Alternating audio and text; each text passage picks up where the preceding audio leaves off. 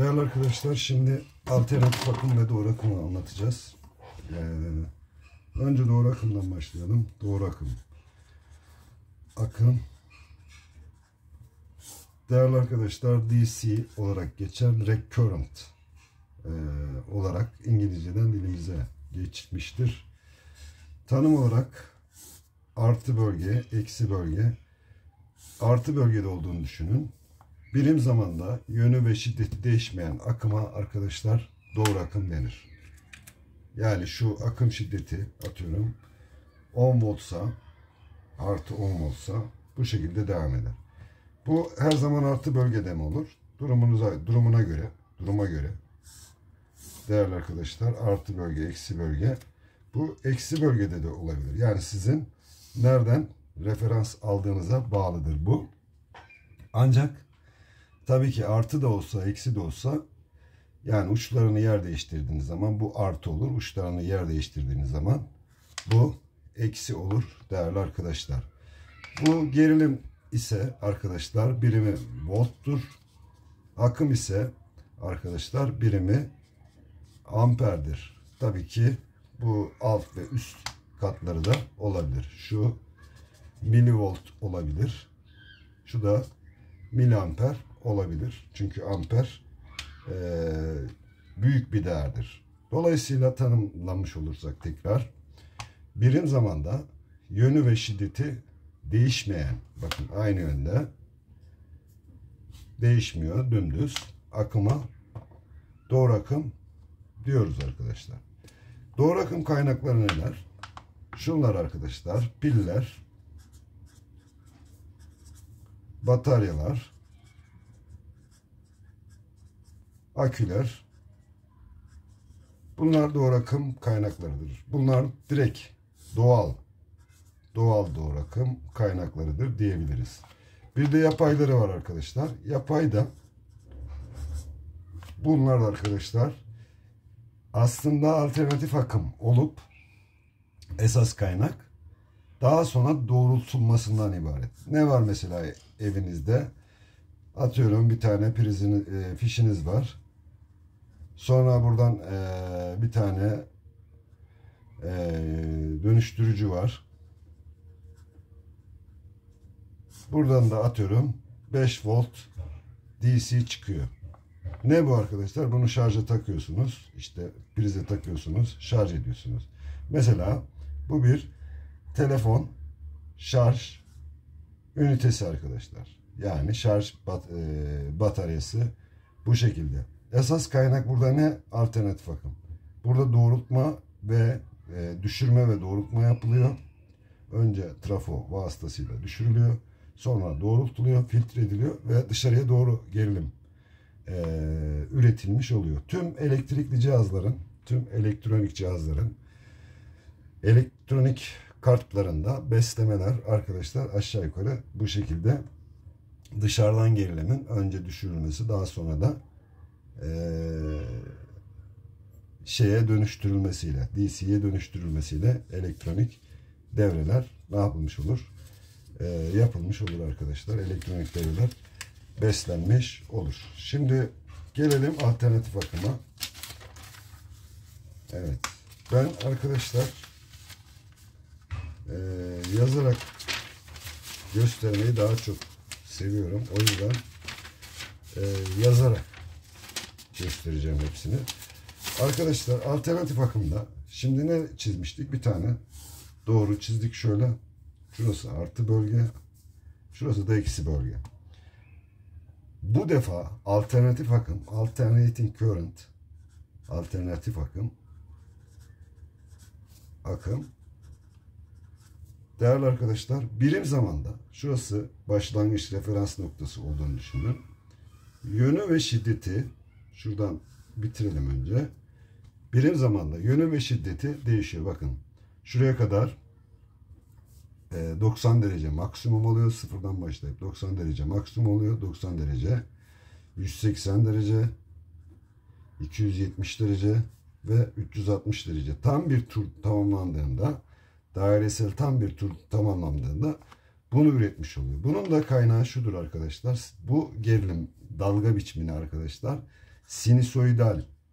Sinüs oidal dalga veya sinüs dalgası diyoruz.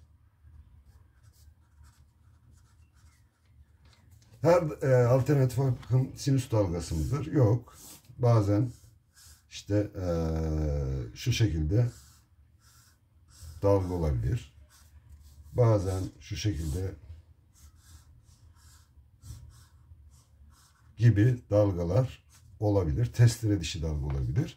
Her zaman bu şekilde olmak zorunda değil. Ama bizim günlük hayatta kullandığımız dalga şekli arkadaşlar e, sinüsoidal dalgadır.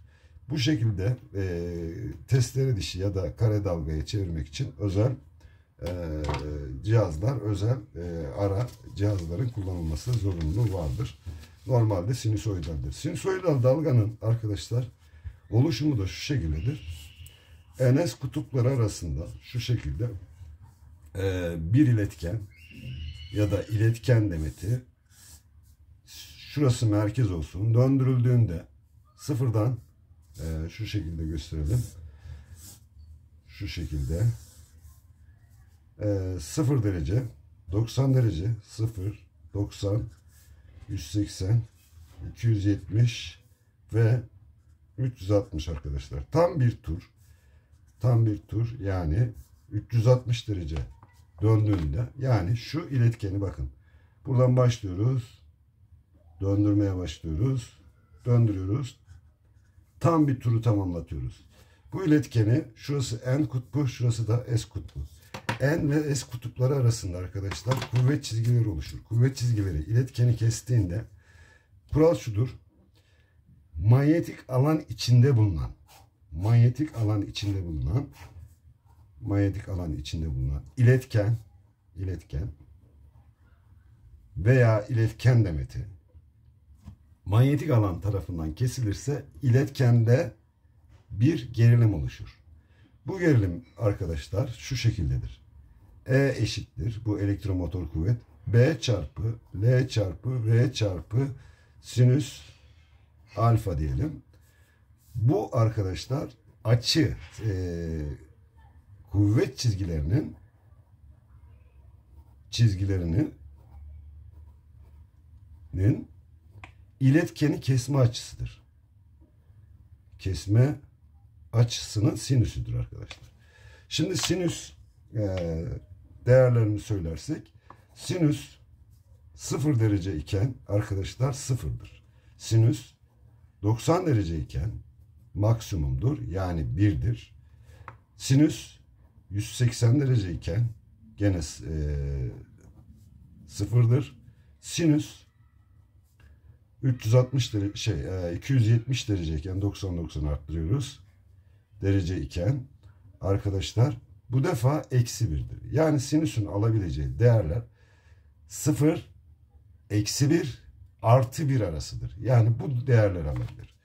Birim e, üçgende de biz pardon birim dairede de e, biz bunları bunun için anlatıyoruz. E, yarı e, yarı çapı bir olan bir daire çiziyoruz. E, bunu bu şekilde anlatıyoruz. Mesela şuradan başladı.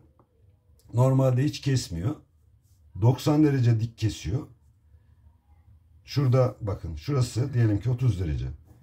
E, 45 derece, 60 derece, işte 75 derece, 90 derece, işte atıyorum e, 105 derece, 120 derece, 150 derece, işte 175 derece, 180 derece. 180 dereceye geldiğinde bakın buradaki olay şu.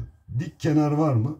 Bakın dik kenar var mı? Tam yatayda. Dolayısıyla sıfır. Yani az önce göstermiş olduğumuz yani e, şu değerleri karşılamış oluyor. Tekrar buraya çizmem gerekirse değerli arkadaşlar bunu şuradan devam ettireyim. Bakın sinüsü de buradan çizeyim. Bakın şuradayken şurada arkadaşlar. Şuradayken bakın buradan devam ettiriyorum. Şuradayken şu noktadayken şu noktada arkadaşlar. Yani maksimum noktasında. Bu noktadayken şuraya bir dedim, bir diyeyim, iki diyeyim, 2 diyeyim, 3 diyeyim. 3 noktası 4 noktası arkadaşlar şurası 270. 4. 5 noktası tekrar turun tamamlandığı yani 360 derece ne olmuş oluyor? Şuraya 5 e, buraya gelmiş oluyor. Yani tam bir tur tamamlandığında sinüs arkadaşlar e, bu şekilde oluşmuş olur. Burada az önce de söylediğim gibi sinüs dalgası E eşittir B çarpı L çarpı V çarpı e, sinüs alfa çarpı 10 üzeri eksi 8. Şurada yazmayı unuttuk. 10 üzeri eksi 8. Arkadaşlar B manyetik alanın büyüklüğü. L manyetik alandaki iletkenin şu boyudur arkadaşlar. L. L ile gösterilir. Length boy demektir. Ve iletkenin hızı arkadaşlar. Metre bölü saniye. Şu da sinüs alfa. Bir de sabit sayımız var. 10 ee, üzeri eksi 8. Sinüs e, dalgasında bu şekilde gösterebiliriz. Alternatörler e, dönen cihazlar işte jeneratörler e, bu şekilde bir sinüs dalgası oluştururlar arkadaşlar. Dikkat ederseniz orada da manyetik alan içinde bir dönen rotor vardır. Bu rotor yani orada endüğü de diyebilirsiniz. Dönen kısım. dönen kısım da iletkenler vardır. E, manyetik alanda da iletkenler vardır, sargılar vardır. E, şu kutup sargıları olmuş oluyor. Şu da dönen kısımdaki sargılar olmuş oluyor arkadaşlar. Tabi burada iletken adedi arttığında, iletken boyu arttığında, işte ne bileyim manyetik alanın bir büyüklüğü arttığında gerilimde ne yapacaktır otomatikman? Artacaktır. Sadece e, bizim burada sinüs odaklanmamız değil, e, diğer e, parametreleri de bilmemiz lazım. Burada alternatif akım üreten e, devasa dönen e, işte rüzgar gülleri, işte türbinler, su, su türbinleri, buhar türbinleri göz önüne getirildiğinde burada hepsinde bir dairesel hareket vardır. Birinde suyun düşmesi, birinde e, buhar basıncı, diğerinde rüzgarın çevirdiği bir e, ne vardır arkadaşlar? E, yani dönüş hareketi vardır. Burada da dönüş hareketi sıfırdan başlar. İşte şu dönüş hareketini sürekli olarak ne yapar? Tekrar eder. Hızlanırsa aynı şekilde gerilim artar. İletkenin boyu e, artarsa artar. Ama neticede bir gerilim oluşturulur diyoruz. Alternatif akım sinüs dalgasının da özelliği budur arkadaşlar.